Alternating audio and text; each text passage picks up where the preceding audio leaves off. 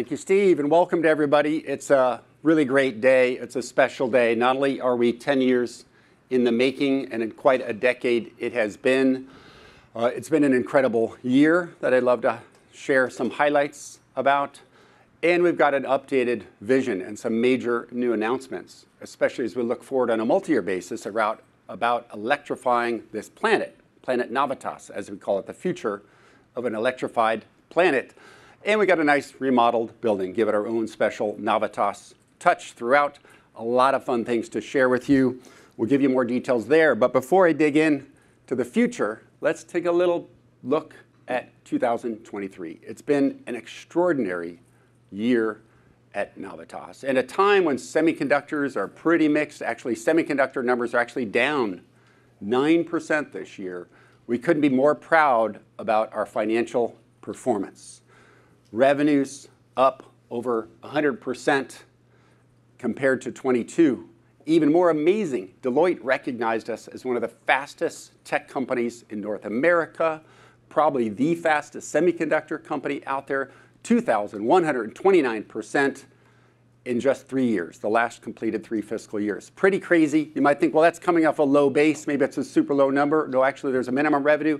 It's the second year in a row we won this three-year award. So pretty extraordinary stuff. Very excited, very proud about it. We're doing it while expanding our gross margins throughout the year. Very successful capital raise earlier this year, and we're very happy the stock price has followed nicely, over 100% up year to date, more than double the SOX this year. But the financials only tell part of the story. A lot of this is coming through rapid expansion of the technology, our customer pipeline, and our customer relationships. Today we'll be announcing an updated pipeline of actually $1.25 billion, $760 million earlier in the year. Pretty extraordinary stuff. Where is it coming from? Not only is our core initial markets like mobile and consumer really nicely ramping, we actually see significant expansion into our new markets: electric vehicle, solar, industrial, appliance, data centers shipping this quarter for the very first time. Over 250 GaN chargers, more than that in development. 250 are shipping in production. 10 of the top 10 smartphone and laptop guys already in production with Navitas GaNFast chargers. Over 137 million shipped cumulatively across gallium nitride and silicon carbide. Pretty exciting stuff.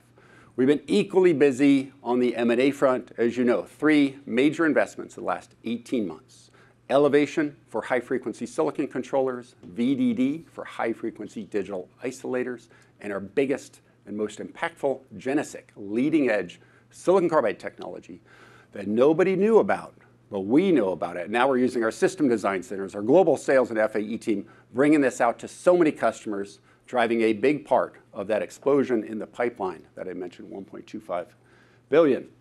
Quickly making investments in that area. Earlier this year, we signed a 500% increase in capacity with X-FAB. That's ramping very nicely, fueling the growth of the business. And we announced a plan for $20 million of in-house silicon carbide EPI investments, which actually are starting here next quarter. The building is under construction down below to prepare for the first of those reactors that would come in.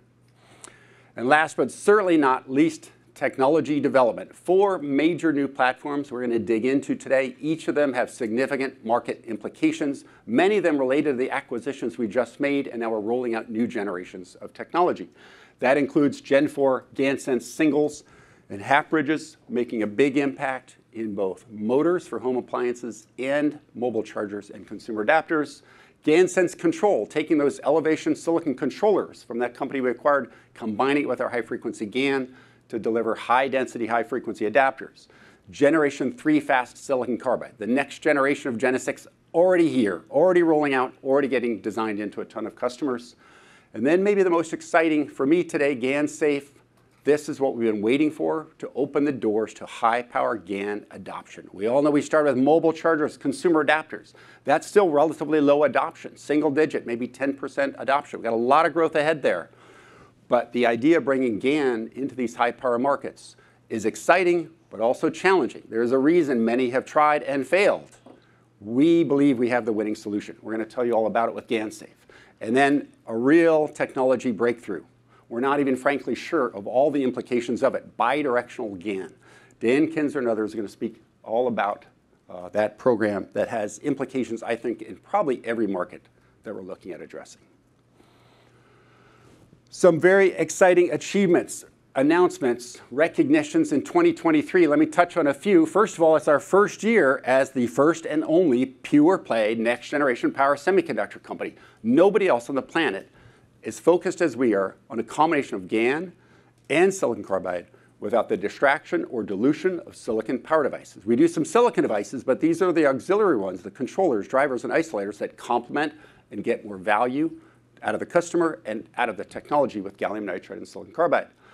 Recognized by Forbes, this is pretty cool. I think we're top 50 or something as the best financial performance for small cap companies. That's a big name, a big recognition. Deloitte, similarly, recognizing us as one of the fastest growing tech companies, as I mentioned, but also non-financial. We're very proud. Last year, we announced the first carbon neutral semiconductor company in the world. This year, we've renewed it again. We plan to continue that and grow it, setting a standard for our whole industry. So some new things we want to talk about. We've talked in the past about a $22 billion opportunity to displace silicon with GaN or silicon carbide in all of these various markets. That's an incredible opportunity for a company today that will do close to $80 million this year, and it's very diverse, driven by a lot of key factors in electrification and energy savings. For the first time today, we took a look at what Tesla announced back in February at their Investor Day. Tesla called it Master Plan Version 3, and Elon Musk outlined the steps and what it would take technologically and economically to electrify our planet. And his main point was, this is possible, it's doable, it's economically compelling, it's less expensive than operating off of fossil fuels for the coming decades, and it can be done with technologies available today. Some of those key technologies are gallium nitride and silicon carbide. So we took his plan, how many EVs, how much energy storage, how many roadside chargers, how much of this, how many heat pumps, things we're going to talk about all throughout the day, translated that into the opportunity in coming decades for gallium nitride and silicon carbide. That figure is $1.3 trillion. Now, how does that relate to the 22 billion? 22 billion is what this industry is already shipping today, mostly with silicon, and we can convert that from silicon to GaN and silicon carbide. That's why we often talk about this as a displacement technology. If all we did was that, we have an opportunity to be an amazing leadership company, incredible financial success. But 22 billion is with the current state of electrification. Energy sources are only 20% electrified. That's solar and wind. Everything else is fossil fuels, coal-fired power plants, converted to electricity and then put on the grid. Look at the end applications, also about 20% electrified today. Gas cars, gas cooking, gas heating, all of those are still fossil fuel-based. That drives the 22 billion. Where does the 1.3 trillion come from? We need to convert that other 80%. And when we do, the opportunity for gallium nitride and silicon carbide to not only participate, but accelerate and enable it, is extraordinary. And it's 1.3 trillion over some period of time. That's up to the planet. That's up to us to all contribute and make it happen. Is that 10, 20, 30 years? But those numbers are extraordinary, taking that 22 billion potential to 30, 40, 50, even $60 billion a year. Pretty extraordinary. We're going to be publishing our own white paper on this uh, investigation and study and analysis, and it really speaks to the real upside that we want to go pursue, not just financially, but the upside to electrify this planet. I'll break down the details. Electric vehicle is a big piece, not surprising. Everybody's talking about it. We're still early days in electrifying our fleet of transportation, not just cars, buses, trucks, every form of transportation is covered in the Tesla plan and covered by ours. But the size of these others are extraordinary. So uh, energy storage, 123 billion. Solar inverters, 85 billion. Home appliances, wind pumps, uh, I'm sorry, heat pumps, wind power. The list goes on and on pretty extraordinary opportunity for us and for our entire industry. Now, with that said, the opportunity is immense. I think you came in here probably knowing that already. What do we do about it? How do we solve this challenge? And I look at this from an industry perspective, not from a Navitas perspective. And I really believe it comes down to these fundamental five key critical enablers or drivers. Of course, the technology is critical. Gallium nitride and silicon carbide are widely known as the key technologies to displace silicon and make this transition happen. But I would specifically point out it's the technology with the highest efficiency, the highest frequency, and the highest integration potential. These three things, efficiency not only drives energy savings, It allows you to shrink things down and miniaturize them and dematerialize them. It allows you to have less energy burned up as heat, so you spend less money, time, and effort on thermal management. The frequency, of course, is the key to GaN and silicon carbide to switching fast, not because the chip gets better, but because more than half of the bill of materials of almost all power systems are in the uh, magnetic and mechanical components. The EMI filters, the transformers, the inductors, the PCBs on the mechanical side, the housing, plastic or metal, all of that is usually half or more of the system. The faster we switch the power device, the more we shrink the size, weight, and cost of that other half of the BOM. So it's actually far more important to get the frequency up and reduce the cost in the rest of that than it is to take the cost of the GaN or silicon carbide chip down. And integration is something we're doing uniquely well with GaN ICs, integrating all those other circuitries around very cost effectively, mind you, not just integrating for the sake of integration, but when you integrate, you shrink the size and weight, but you also can do that and drive a lot of bill of materials cost.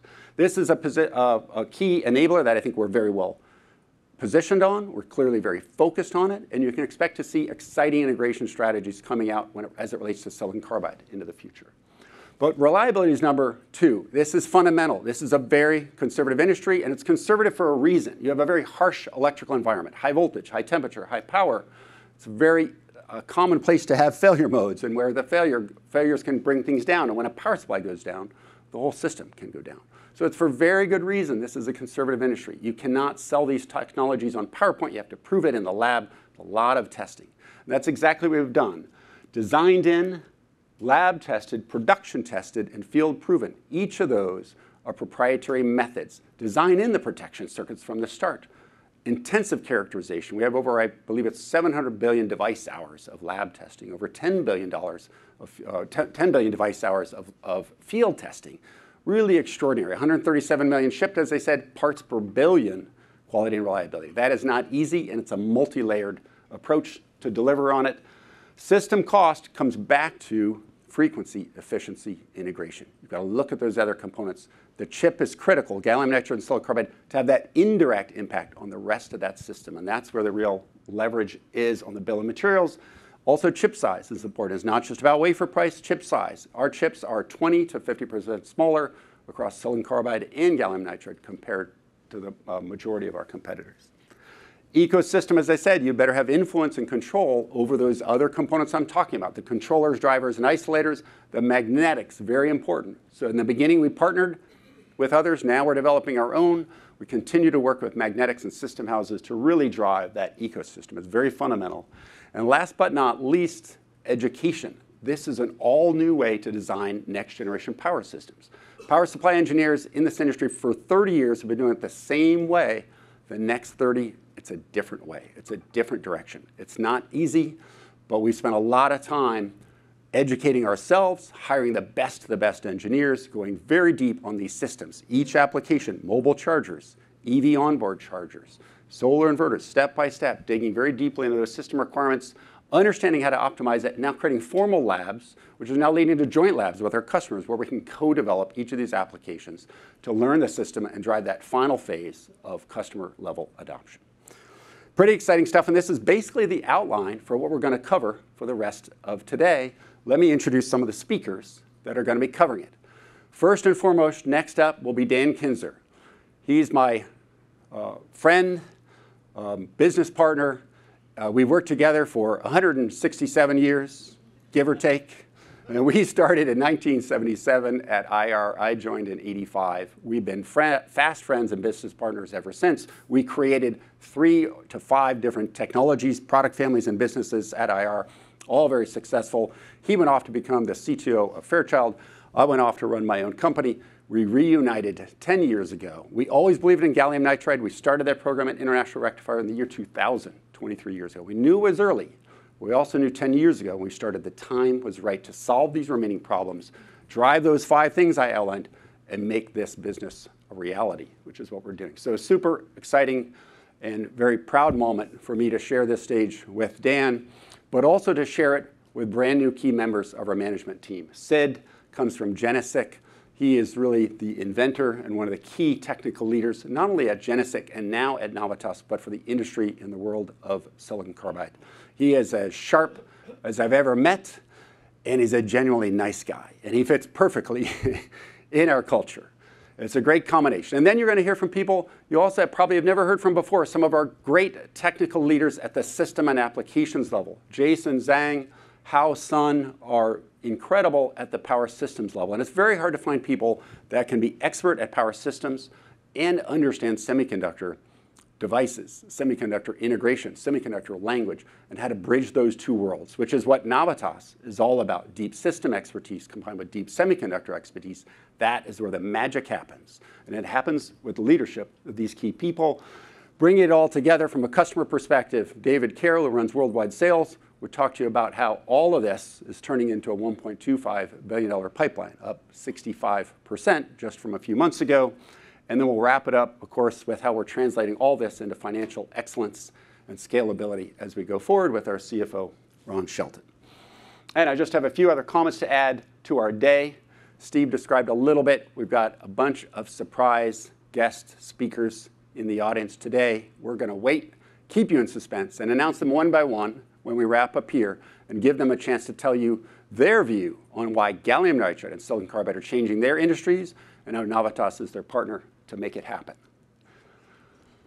Next, Planet Navitas. We're going to check this place out. As I said, we call it Planet Navitas, not just as our headquarters in the center of our global universe, but also as our vision in the future of an electrified planet. We're going to talk about how we design these GaN chips, design the silicon carbide, reliability and test, very critical and proprietary, as I described earlier, and then that deep applications and system engineering capability. A brand new demo area, and we've got a little twist to this. The demo area will speak to the past using old silicon, where things were in the last decade or so using silicon, the present, modern day, advanced gallium nitride and silicon carbide based power electronics, how that's changing every industry we touch, which is basically every industry in electronics. But even more exciting, the future. We've created a studio. The studio is where we're creating our vision, our future of what this planet can look like when it's fully electrified and what that can mean to Navitas and our entire industry of gallium nitride and silicon carbide.